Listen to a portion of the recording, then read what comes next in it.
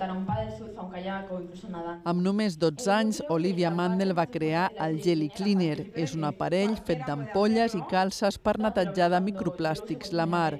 Avui l'ha mostrat als estudiants que han anat al Fòrum Marí, on ha parlat de la contaminació a la Mediterrània. És un dels mars més contaminats del món, el 95% de tota la brossa al Mediterrani són plàstics i si no ho aturem els, els oceans eh, es moriran, que diguem, i sense ells no podem viure. Al final ells ens donen l'oxigen que respirem i sense ells bueno, no podem sobreviure, igual que sense els animals, sense els ecosistemes. L'anomenada Greta Thunberg catalana només té 16 anys, però ja ha impulsat una campanya per tancar els dofinaris que ja ha recollit 155.000 signatures. La meva generació és la generació amb la necessitat de fer un canvi, però a lo millor som l'última generació amb aquesta possibilitat abans de que sigui massa tard. Els alumnes també han conegut altres projectes mediambientals com el de Mar a Fondo, que vol apropar els joves a la mar a través de l'esport. Bueno, el mar está ahora mismo en un momento crítico y sí que es muy importante que, que la ciudadanía y la sociedad en general se dé cuenta ¿no? de esta situación. La contaminació fa que eh, les platges, eh, l'ecosistema eh,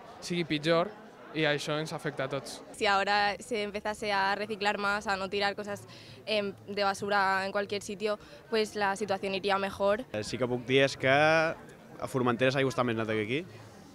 No sé què feim malament, però algú farà malament. Escribir este libro fue una auténtica revolución. Al fòrum també hi ha participat Anna Alemany, autora d'un llibre sobre dones que han dedicat la seva vida al mar, com les bussejadores a pulmó coreanes Hen Yeo.